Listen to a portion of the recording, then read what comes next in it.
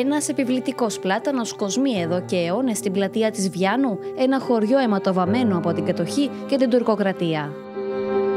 Κάτω από τη σκιά του εντυπωσιακού δέντρου έχουν διαδραματιστεί ανά τους αιώνες πολλά ιστορικά γεγονότα που σημάδεψαν τους κατοίκους.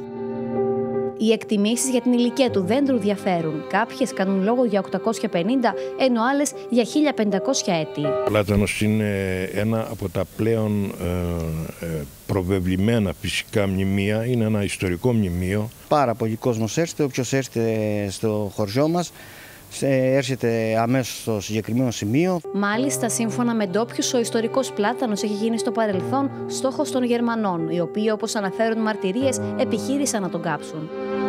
Ευτυχώς όμως χωρίς επιτυχία και ο πλάτανος στέκει περήφανος μέχρι και σήμερα.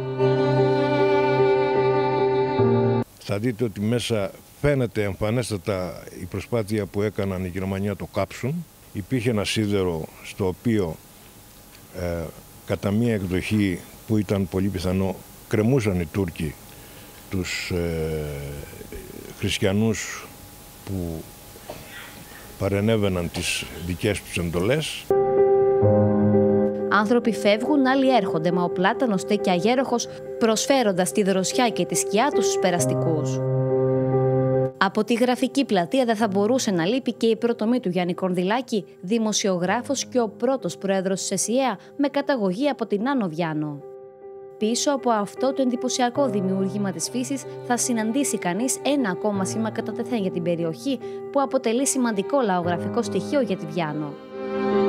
Πρόκειται για ένα από τους τέσσερις νερόμιλου, ο κάτω μήλος όπως ονομάζεται. Κάποτε εκεί οι κάτοικοι άλλοι θα το σιτάρει για να παρασκευάσουν ψωμί για τον οικοκυριό τους. Σήμερα ο κάτω μήλος είναι ένα χαρακτηριστικό σημείο που κοιτώντας το μας μεταφέρει στο παρελθόν. Έχουμε άλλους τρεις ε, να ανέβουμε πιο πάνω. Συγκεκριμένος είναι ο κάτω μήλος όπως τον ονομάζουμε εδώ εμείς εδώ στη Βιάνο, γι' αυτό και η περιοχή ονομάζεται κάτω μήλος. Περίπου σταμάτησε το 1960 να δουλεύει, τα τελευταία χρόνια έχει ανακαινιστεί ο κάτω μήλος και μπορούν οι επισκέπτες να δούνε πώς λειτουργούσε εκείνα τα χρόνια. Όπως σε πολλές περιοχές στην ενδοχώρα της Κρήτης, έτσι και στη Βιάνο, κρύβονται ιδιαίτερα σημεία που μαρτυρούν τη λαογραφία και τον τρόπο ζωής των τόπιων μιας άλλης εποχής.